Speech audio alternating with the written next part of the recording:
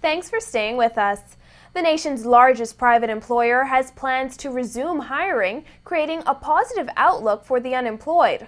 Also, new investment opportunities are on the horizon for Bahamians. Scott Armstrong has those stories and more in tonight's NB12 Business Matters Report.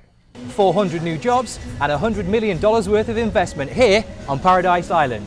This is Business Matters.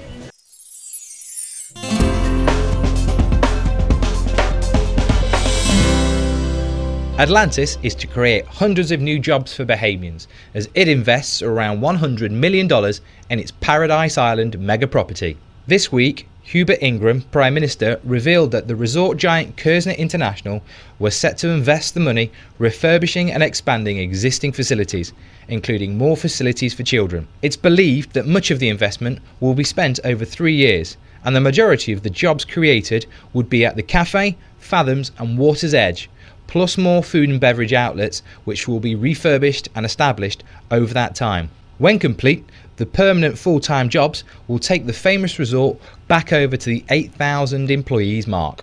It seems there could be two more chances for Bahamians to invest in public utilities, with shares up for grabs in the Tonique Williams Darling Highway Landfill project and possibly BEC. Earl Deveaux revealed that 40% of the $20 million scheme to privatise the new Providence City dump would be put up for public ownership, with employees getting the first chance, followed by the public and then institutional investors. And he poured cold water on plans by the company being brought in to run the site, Cambridge Development Projects, to raise $4 million of the capital needed from Bahamian pension funds, saying that the public must get their chance first to invest.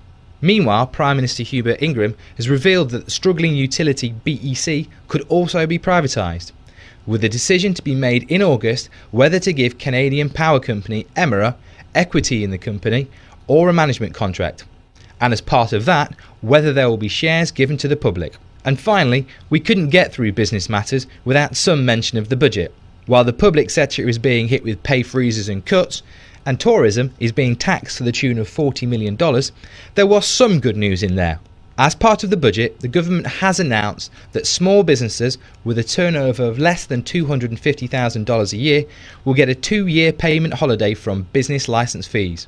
It is part of a package of support by the government for small business, which has been welcomed by the Bahamas Chamber of Commerce President Khaalis Rolle. He said it was good, but he warned that still more needed to be done. Join me, Scott Armstrong, next week for more business matters on NB12.